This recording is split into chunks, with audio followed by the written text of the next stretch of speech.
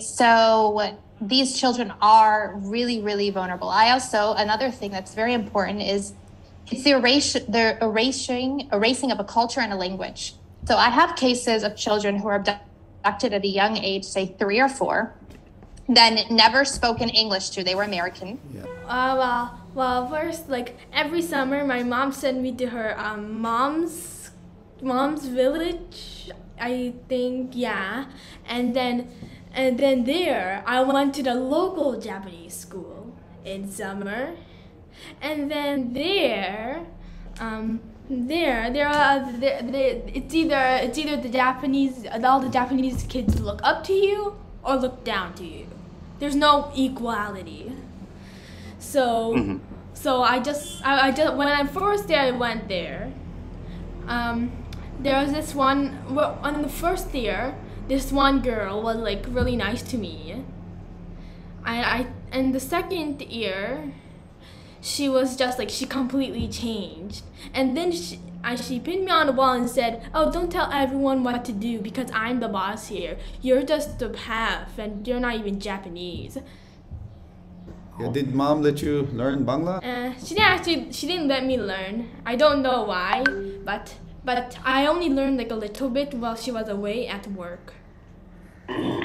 Got it. Um, ভাই yeah, বলেন ভাই একটু কোশ্চেন করতে চাই হ্যাঁ বলেন মানে মিরাজ ভাই একটু মিরাজ ভাইয়ের কথা বলুন মিরাজ ভাই বলেন ওকে একটা আচ্ছা কোশ্চেন আছে হ্যাঁ বলেন মিরাজ ভাই Uh, hi everyone. Hi everyone. Hope that all of you are well. Uh, I am Mirajuddin, uh, staff I have a question for your daughter Laila. What is her opinion, and what does she want? Okay. Laila, where do you want to be? I want to stay with Abba.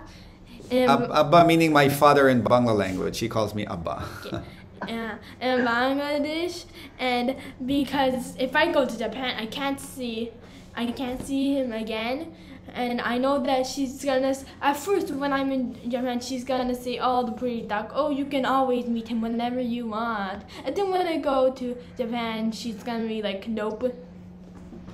And then, and then, sh- and she also tried to go and, and like go on the airplane Yeah. and escaped to Japan three times before. I was there one time. We were stopped by the I think police, immigration police, I think, and then and then the police said you're you you're you the mom can go but the kids can't go, and then and then I waited there for like five hours.